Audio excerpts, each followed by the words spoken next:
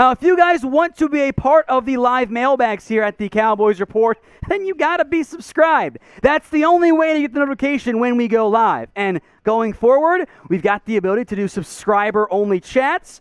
Might be doing those pretty frequently here for the Dallas Cowboys Report mailbags.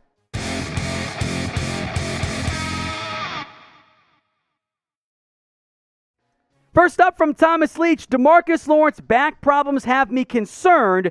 Think the Cowboys bring an outside help, or do you think we have the answer on the roster? I don't think the Cowboys' mindset right now is one of concern around Demarcus Lawrence. I think Jerry had said it was going to be when camp breaks, he might be good to go.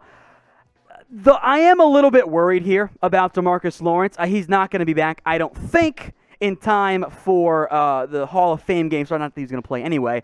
So I'm not that concerned. Um, if he misses time, yeah, I want to bring somebody in. Other than that, I feel okay right now for the Cowboys and for Demarcus Lawrence. From the Rainbow Cow, CeeDee will be a top 18 receiver this season.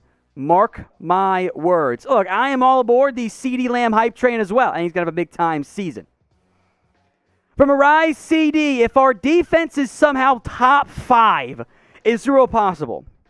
If the Cowboys have a top five defense, they will be a Super Bowl favorite.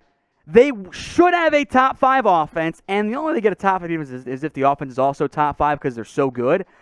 If, it, if it's a top five defense, an actually true top five defense, this is going to be an elite team. This will be maybe the best team in the NFL if they've got a top five offense and a top five defense. But that's not my expectation. From Big Sad, assuming no one gets injured, if we get Xavien Howard, what are the odds of going to the NFC Championship? Um, I feel better about it. I don't, again, I don't think it's going to happen. Keep that in mind. The cost probably too much for Stephen and Jerry and Will McClay, whatever. Uh, I think they become a. They're already the NFC's favorites. I think they become an 11 potentially win team. Boost them up maybe one from what I got right now. I'd say maybe third or fourth in the NFC Championship. Of course, we got the Packers. I still think, at least for now, lead the way. And one of the teams coming out of the NFC West, whichever one that ends up being. From Reed Todd 32, Randy Gregory breakout season. I have already consumed all of the Kool Aid right now for Randy Gregory. I, I am sold on him having a major breakout year. I think Gregory is going to have an eight or more sack season. So, yes, I agree with you on that one. From Tyrion and words outside of air and of, I don't know how to pronounce that last one. Uh, what role do you think Malik Hooker has in this defense? Is he starting or will he be a rotational piece? Um, look, I think in the end that Hooker's role is very much unclear, very much up in the air. I don't know what if he's going to start or be a rotational piece. It could be a little bit of both. I think there will be an open competition for the Cowboys at safety. I think Donovan Wilson ends up being one guy. What I don't know, though, is if it's just Hooker or more than him on that front. So if it's Hooker or Kazee, I should say. I think that's going to be determined as camp in the preseason gets going a little bit more. From Xavier Clark, should Dallas trade for Gardner Minshew or Nick Foles now? Um, one of these guys I'm intrigued by, the other I'm not. I, I like the idea of going out and adding Gardner or Gardner Minshew. If you can get him for a day three pick, which I'm not sure you can, I say go for it. Two years left under a million per year. You take care of your backup quarterback room, and everything's in great shape from that perspective. So I like it for Minshew. Nick Foles, I'm out on. A, he's not that good. B, there's money issues here. The Cowboys own four million guaranteed this year. Okay, that's pretty cool. It's next year because the Bears stupidly structured his contract that is the issue. He has an $8 million cap hit. And between his guaranteed base salary and a guaranteed roster bonus, he's got 5 million guaranteed next year. So, do you want to pay him 9 million for 1 year? Do you want to pay him, you know, 12 million over 2 years? It's not really something I'm trying to do. Andy Dalton's 10x or not 10x, but 5x what Nick Foles is.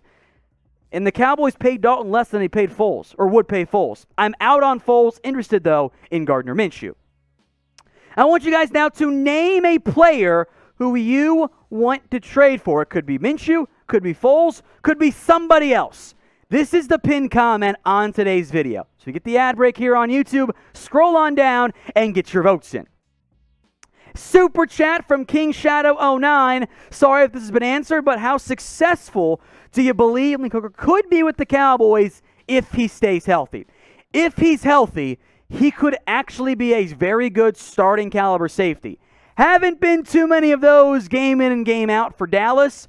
For Hooker, it all comes down to how healthy he is and how recovered and back to his peak form he is coming off a litany of injuries. For a super chat from Timothy, who super chat earlier and then got the question in there. You figured it out, my friend. Good job. Do you think Zeke can lead the NFL in rushing with him being in best shape of his NFL career so far? Kind of actually is. Um, in terms of him leading the NFL in rushing, that would be an objectively good thing because that comes if the Cowboys are winning games.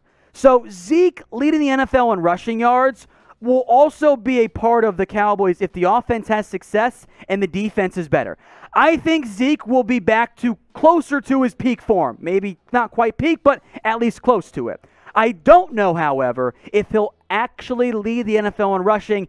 Tennessee and Cleveland and Minnesota, they're going to run the ball a lot more than I think the Cowboys will. So if he can be top five, I'll be very happy.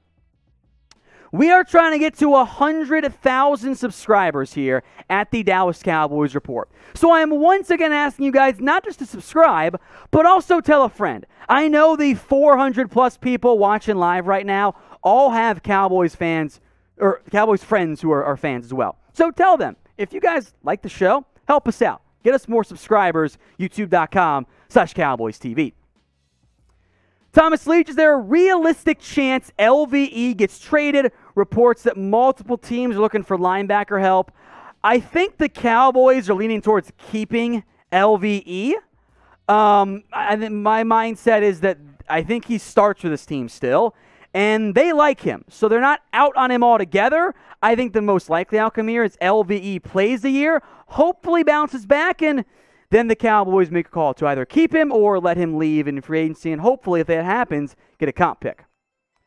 From Fat Sushi Man, if both Hooker and Kazee ball out, who do you extend next year?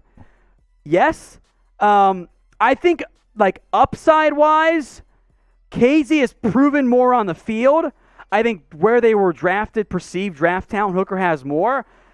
I, whichever's cheaper, maybe, if, it, if it's a true 50 50 split. Um, whichever one Dan Quinn wants, I guess. Like, if they both ball out, I'm happy. It's a good problem to have.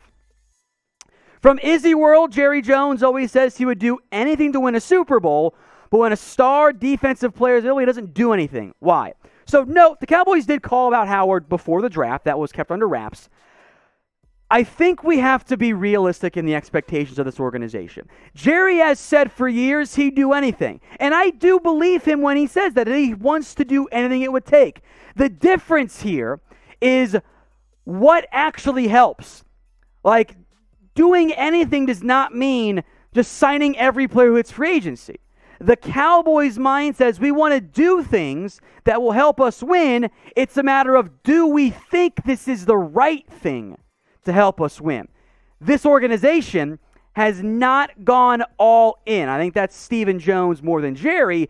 They view trying to win a Super Bowl as not just a one or two year window and get aggressive in terms of how they structure contracts, but keep that window open for several years. That's been the case when the quarterback's been healthy.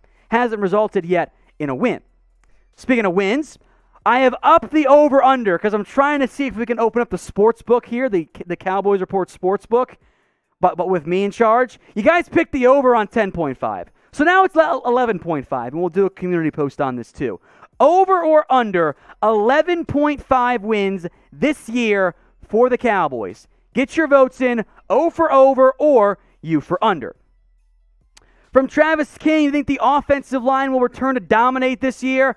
If they can be around top 10, top 7, that's about where I think they should be.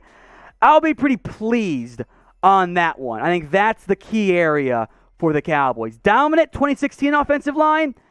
I say no. I, I don't I don't think that's going to be the case this year. From Con Crank, rate the Cowboys roster right now on a scale of 1 to 10. I would rate them a 7.5 out of 10. That feels about right. Um, 75 overall. You're not going to get to 10. It's probably out of 90. So I think that feels pretty fair for, for, for the Cowboys. From the Wizard, DiNucci wins backup role. Uh, no, he is not. Um, he's not good. I'm sorry. That's just not not going to be the case for Ben DiNucci and the Cowboys. I'm I'm basically out on him. hopefully I'm wrong come preseason time. Blazer Gaming, then I want to get to some super chats that came in here. Uh, if Zeke is in the best shape of his career, then can he be the rushing leader and benefit the team with the O line? Again, rushing leader is going to come down to a lot of carries. I'm not hoping. I'm hoping for rushing leader, but I'm hoping to get maybe top five yards. That means he's closing games out pretty strong. Jordan Kane, trade for Minshew. Prescott's made of glass. Except he's not. Like, yes, I know he's got the latissimus strain right now and he busted up his ankle last year. He's missed only games last year. Like, Dak Prescott is not made of glass. Carson Wentz is made of glass, not Dak Prescott. That's I disagree with that take altogether. From my burner account, what player has been the biggest camp surprise? Also, last super, I would still trade for Minshew for, for a fourth or fifth round pick. I mean, uh, biggest camp surprise from a positive standpoint? I think may, maybe it's Malik Turner. Uh, I, I have viewed him as the forgotten man at the wide receiver room. So I, think from that perspective, like I think Malik Turner is trying to fight for roster spot. I think that's the name to keep an eye out for.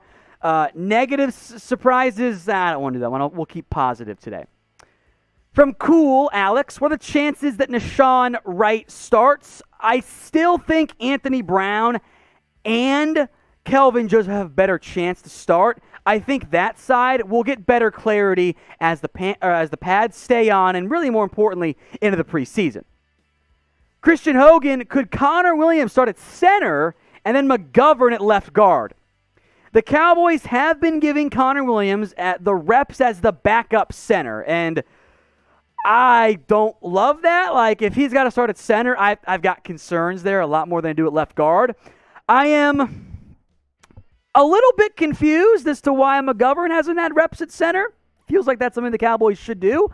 Um, I think in reality, though, it ends up being Williams at left guard, Biadasz at center. If one of those guys gets hurt, McGovern slides in at left guard, and Williams or Biadasz, if he's healthy, sticks at center.